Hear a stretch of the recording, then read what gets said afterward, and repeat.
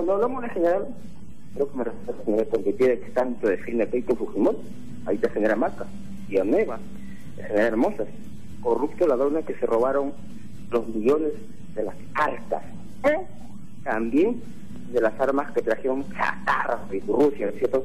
¿En qué gobierno fue eso? ¿En qué gobierno? De Fujimori, ¿no es cierto? Entonces, también hoy en día hay generales patriotas, pero poquísimos, y de, de, los cuales, el general Juan Velasco Dragón, la mayoría de los generales de policías del ejército, de las Fuerzas Armadas, son corruptos. Por eso, hay que reformar todo el Fuerzas Armadas la PNP. Porque mire cómo están luchando ahora. Cómo vivían los generales acá, en La Molina, en Zacarías, cuatro por cuatro, casas, hectáreas, como lo han hecho. Tal vez de repente con la plata de droga. Y así, entonces, mire, acá termino. La gente dice, Keiko Fujimori no está en la punta. Oiga, ¿por qué son Y Espero que le responda un compatriota. ¿Cómo no va a estar en la punta la China si la China tiene 20 años de política? Yo solamente un año.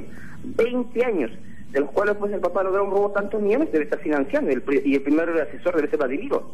Son millones que Fujimori con su gentuza ha robado. Por eso lo están financiando a la China. Así que no tapemos con un sol que la China no está en la punta, y la China está en la punta. Y tal vez, de repente, gane la elección. Y como dicen, ¿no? Vamos a acabar con la delincuencia, vamos a reactivar la economía. Esperemos que la China Fujimori lo haga. Si no lo hace en dos años, debe renunciar por dignidad. Muchas gracias.